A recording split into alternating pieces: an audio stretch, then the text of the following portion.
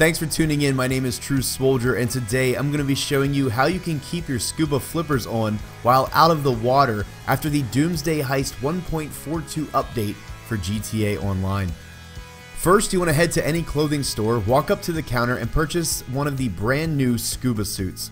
When you are scrolling through these suits, it will show them complete with the mask and the air tank. However, once you equip the scuba suit, those will disappear and they will only reappear again when you are in the water. Now head to any body of water deep enough to where the mask, the tank, and the flippers appear on your character. Perform the same illuminated clothing trick that we used to obtain adversary mode outfits by pulling up your interaction menu, select style, scroll down to illuminate clothing and cycle through the options for about 10 to 15 seconds. At this point, PS4 users can simply open up another application like YouTube and when you come back to the game, it will say that you have been kicked. For Xbox One users, press the middle button on your controller to open up the Xbox dashboard and wait on the screen until you have been kicked from the game. While on the dashboard, it generally takes about 2 minutes to get kicked from the game, but if you stay in the game, it takes 13 minutes, so definitely make sure you open up the dashboard, otherwise you'll be waiting a while.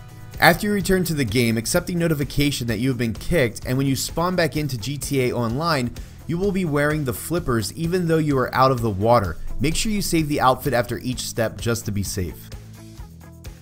Now you have the flippers on out of the water, but you may notice that you have a glitched out red shirt showing through your wetsuit.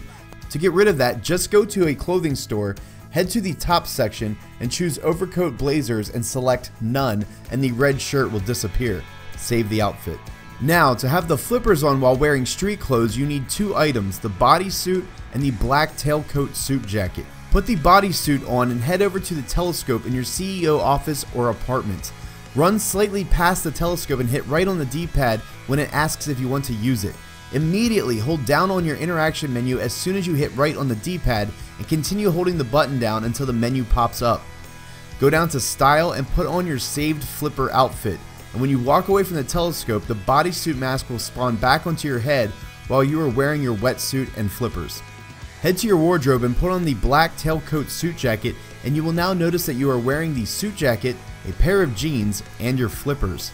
You can change the top to whatever you want, but sadly you can't change the pants without losing the flippers.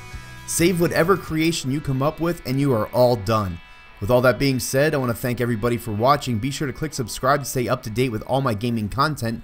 Hit that like button if you feel in your hearts to do so, and last but not least, stay Swol.